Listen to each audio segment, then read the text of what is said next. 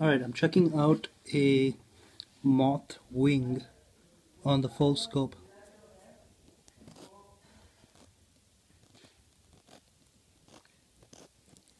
You can see the scales that it's made out of.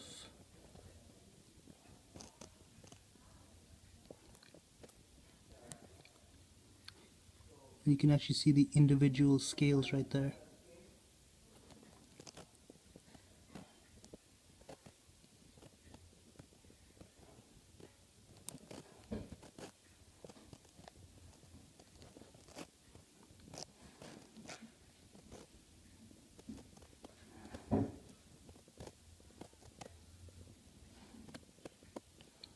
There seems to be a kind of a tube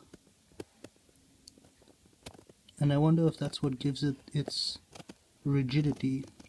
So there's like a hollow tube that seems to support the wing that's sort of like the frame um, and there's a bunch of these pretty regularly spaced.